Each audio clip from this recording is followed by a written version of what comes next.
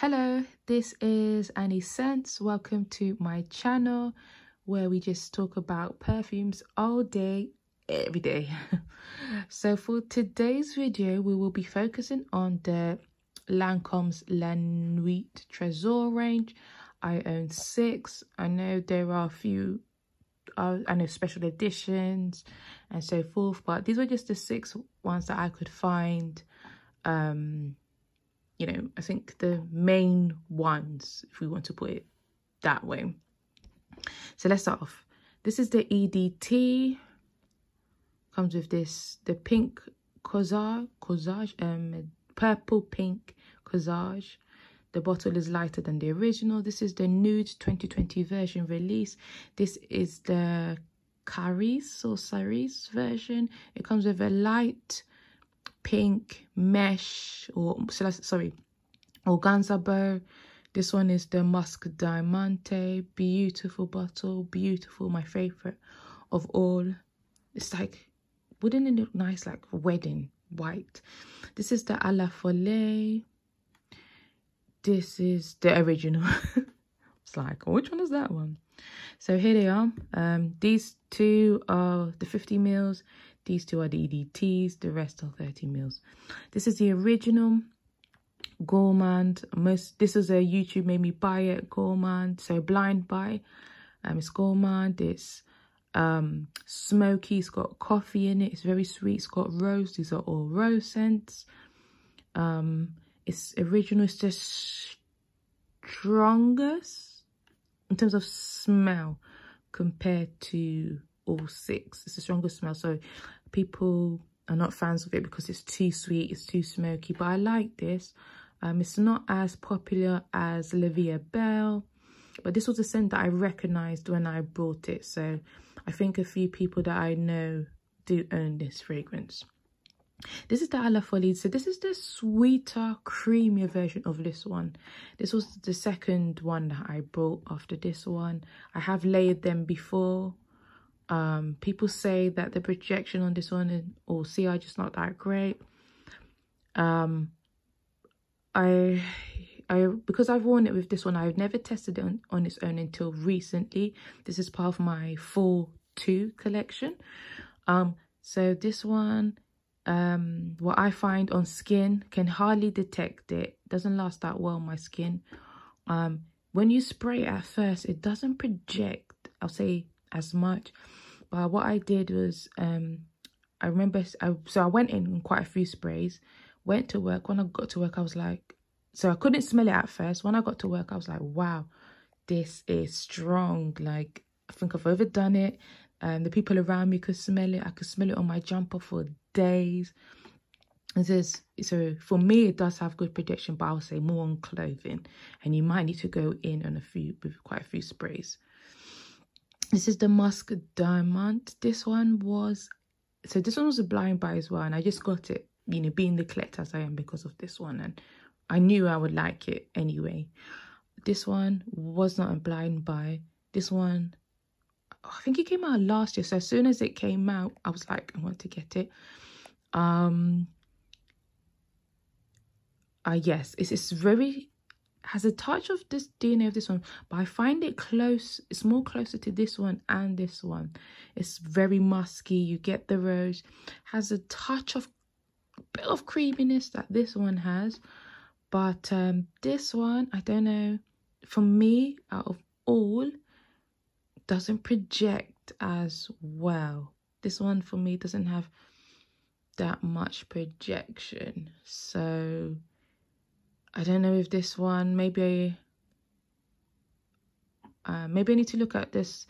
Yeah, yeah, I think even with the travel size I got to sample, I think the projection was just the same. So I think there's definitely wrong with the bottle. I just don't think it projects so well. It's so beautiful. It's the most beautiful one of the lot. But you can imagine it like your wedding day so, so yeah, the protection the sillage isn't the best. I do layer the two together. Um, but yeah, they're quite similar smelling I find, but this is just muskier and lighter. Let's go on to the Caresse Cerise. This one is the one that is more closer to this one, I would say. This is more lighter. I don't think this has the coffee bean note. This actually has almonds on it. On skin, it lasts, but it doesn't have that good projection. So it lasts a long time on skin. It does last hours on skin. Um, but it it's one of those. I've I've actually sprayed it on now, and they're how can I explain this? So on skin, it's not like you smell it and you're like, oh my god, I can smell it. You can smell it more around you, if that make like I can smell it now. So I can really smell it now. I'm currently wearing Good Girl by Carolina Herrera, the Légère version. And so I didn't want to spray it over all over that because it would just be a bit much. So I only sprayed it on my arms just to test it because I just got this recently and I haven't worn it out. But I, I can smell it now. So I think this is going to have good projection and lasting power as well. So I'm looking forward to wearing that. It's got the almond, so that's what makes it different. But for me, this is very close to this. When I first smelled it, I was like, uh-oh, smells just the same. But no, as it dries down, less sweet. It's like a watered down version, maybe even like a EDT version, but with almonds. And um, yeah, oh, patchouli. You can detect the patchouli in this one. I think more than the rest. So you may not like this one. This is the nude. This one was a um so sorry, this one I got a sample first. This one I got a sample first because I was I'm a, such a fan. So I was looking forward to trying this one. I'm not going to lie, with the first time I got it, I was underwhelmed. I was like, yes, it's got similarities with, you know, the original and this one. I was quite overwhelmed. They said there was coconut. I know it's got bergamot. Um, it's got the rose, the vanilla. So I was a little bit disappointed. It wasn't my typical sweet gourmand scent I was looking for. I was thinking, shall I declutter it? What shall I do? I added it to my full one collection. And I must say, after a few tries, I am absolutely in love with this. Absolutely in love with this. People say it's for summer, but it worked really well, I would say, during um, my full one. It's got that creaminess of this one. They both have the same creaminess vibe.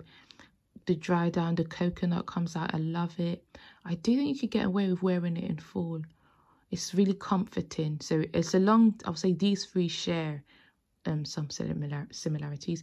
This one is the edt and like this one this is the edt guys but they both perform exceptionally well. Lasting power projection both really good.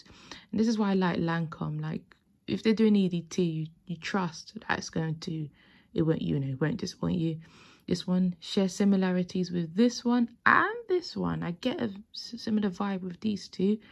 Um as you can see i've used it a lot. This is was in my 4-1 collection you get the rose. It's a fresher version a lighter version of this. So again if you this was too much go for this but this is heavy on the rose. Um yeah. Um so yeah so if you ask me to pick a favorite this would be really difficult but one two and three will be amongst my favorite. This one is just the lasting power. I feel like it had so much potential but if it could have lasting power like this i think a lot of people would reach for it this one, I need to test it out a bit more to see whether I love or like it. Um, I feel like this is maybe reminding me, I don't know if it's the Elie Saab range almonds. It's not the type of almonds that you'll find in um Givenchy. I know Givenchy is it Delicacies, the Irresistible range or um Elie Saab. It's a bit different um, almonds but yeah so here is my here's a collection. Do you need to own all? Um i think you can get away without these two. These all are a bit oh, i don't know. Maybe the ones i said were my favorites. I think you could get away with just that. Um i do look forward to what they're going to release in 2021 if i had again I'm I'm I will um need to try this one out a bit more before I give proper comments on it. Um, so yeah, so guys, that was it. Um, yeah, this so this is it. Um, I'll say for last and Power, these five are really good. If you want a creamy, sweet berry one, this one will be your one. If you want one that's a little bit different, I would say this is your different one. is coffee. Actually, these are quite different. Coffee. This one, not everybody will have. So this is quite a unique one. Um, it's not a scent that is common. So that's why as well, I really like it. Um, I think if you own this one, you're good to go. It's nice. It's really long lasting. So yeah, I'm babbling on now. Um, yeah. Do you need to own all? Are they all vastly different? A few of them are. A few of them the same, but I do enjoy, and I'm very much looking forward to the next one. So I really hope you enjoyed this video. Like, comment, share, and subscribe. And I'll see you back again. Bye.